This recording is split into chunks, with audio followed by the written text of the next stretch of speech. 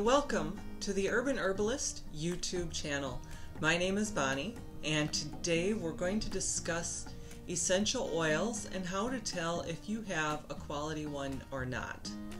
Uh, first and foremost, a couple of safety factors with essential oils. Never take essential oils internally, and always dilute them if you're using them on your skin. And remember moderation too much of a good thing can be a bad thing at times. So, that being said, another thing I want to mention when you see essential oils, you're going to often see them marketed as therapeutic grade. All that means is that it's 100% pure essential oil.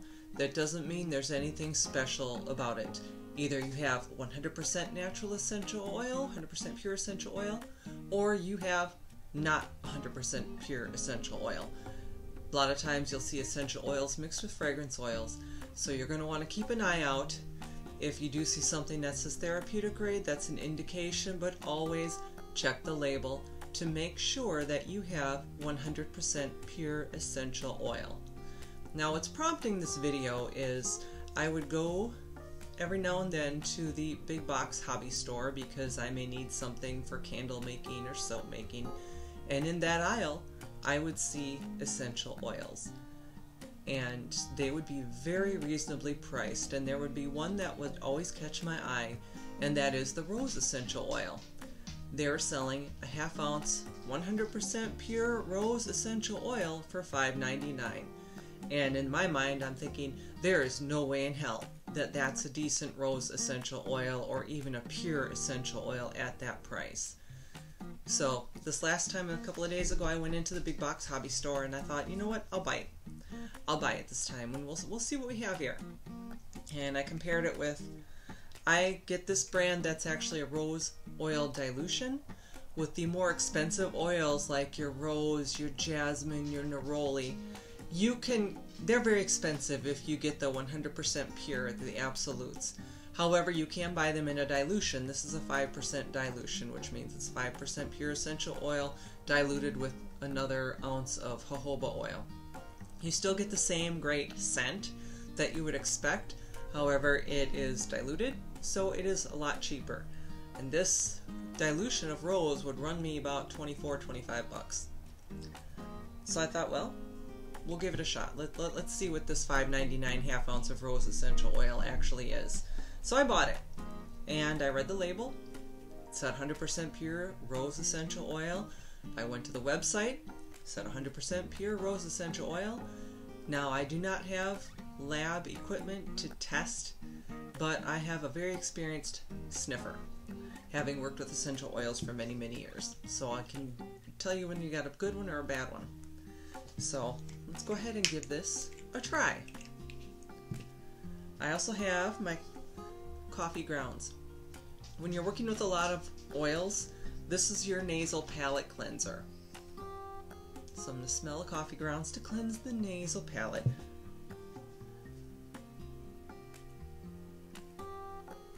Typical rose scent, what I would expect.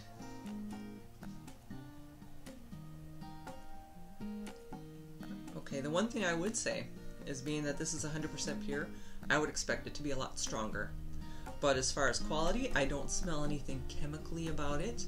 It smells the same as that, but not as strong. I've had Rose Absolute, and it is. It doesn't really smell like you'd expect the flower to smell because it is so concentrated. This does not have that smell, but it has that smell just stronger, a little stronger. So I would say this is not a bad oil. I don't smell anything chemical anything inorganic. So I would say, you know what? If you want some rose essential oil and don't want to break the bank, this isn't a bad oil. So it got me to thinking. If you can get reasonably priced rose essential oil at big box hobby store, what are the Walmart oils like? So I went to Walmart this morning and I picked up a few just so we can do a little experiment here. We've got some cedarwood, now I've got my tried and true oils that I've been using for years that I know are a good quality, so we're going to do a little comparison here. This is GuruNanda Got this at Walmart. This is cedarwood. And of course, my tried and true cedarwood that I've been using for years. Cleanse the nose palate.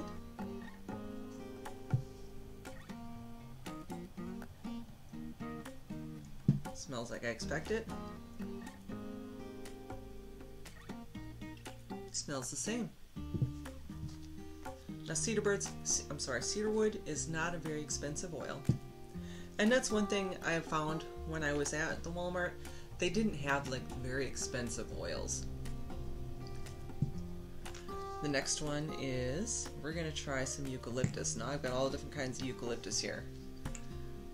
I have the Better Homes and Gardens eucalyptus. I have the Mainstays eucalyptus. And I have the GuruNanda. These three I picked up at Walmart this morning. This is my tried and true that I use in my products. Eucalyptus is a very inexpensive oil. It's good for your sinuses. However, it's a very strong oil. It smells like I would expect it to smell.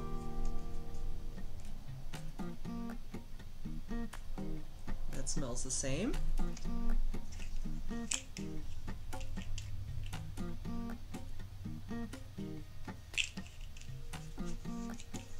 we'll compare it to my tried and true. These all, I don't smell any difference in all four of these. And like I said, eucalyptus is not a very expensive oil. It's one that I would trust buying from any store. Now lavender. Lavender is a very common one. Everybody loves lavender. However, there's different kinds of lavender. It's not very expensive. It's not the cheapest oil, obviously, but it's not very expensive.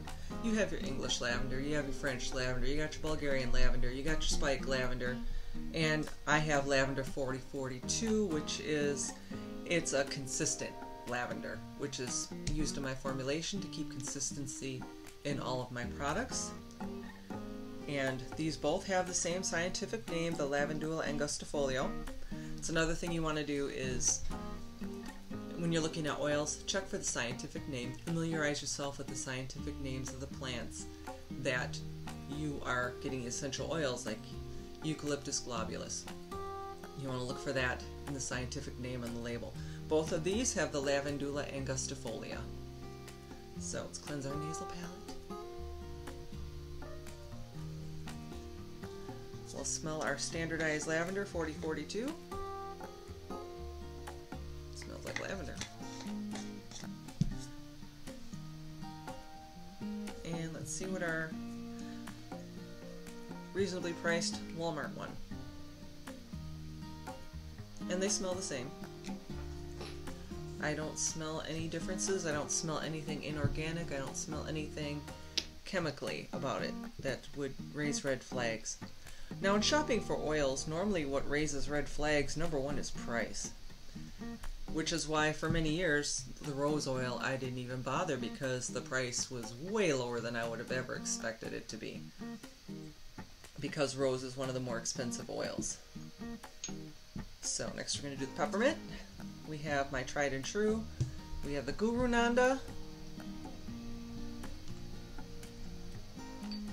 Ah, I knew, and a mainstays. Peppermint, there's different kinds of peppermint on the market as well. This is the scientific name Mentha piperita.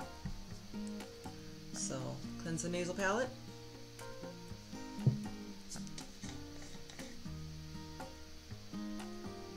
Typical minty smell like I normally would smell.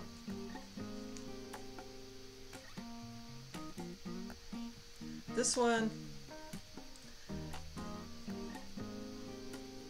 doesn't quite smell the same as this. There's a, a hint off.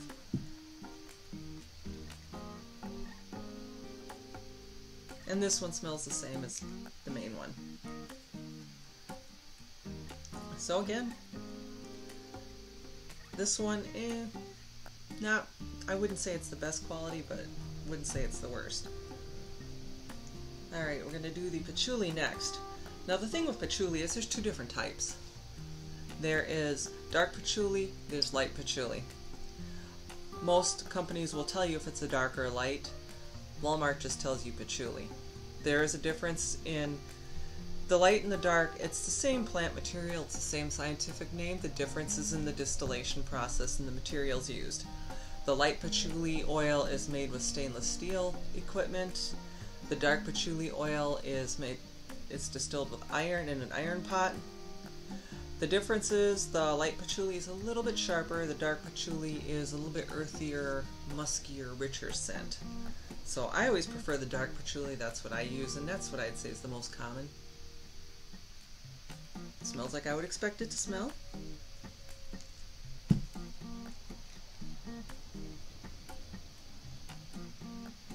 And this one smells like they use the dark patchouli to me. We've got orange. Orange is another cheap, common essential oil.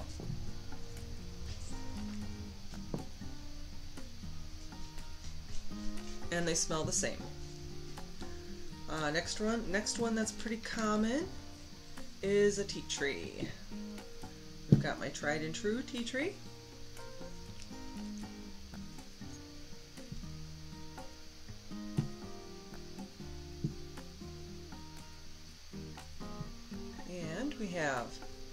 Walmart tea tree.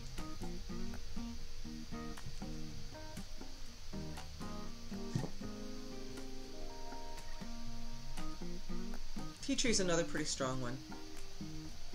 And I have seen applications of tea tree where you can use it on athlete's foot and toe fungus.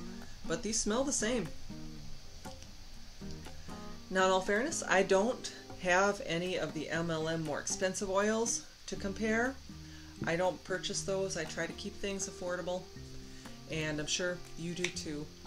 So I don't have any of the MLM type more expensive oils to compare these against. But if you're experimenting with essential oils, I would say, in my opinion, don't shy away from the Walmart brands. When you have an oil you like, you might want to experiment with different brands to see if there's different quality ones out there you prefer.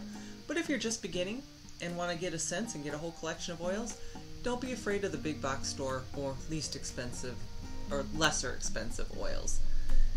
Again, you want to make sure that I would say definitely make sure you don't smell anything chemically about it. If don't smell anything inorganic and if you have a question about whether it's a good one or not, find another brand, purchase that one and compare the two and see which one you prefer. I want to thank you for watching. Please like, share, subscribe, comment below. Let me know if you have any questions about essential oils and don't forget your coffee to keep your nasal palate cleansed when you're working with many different oils. Thank you and have a blessed day.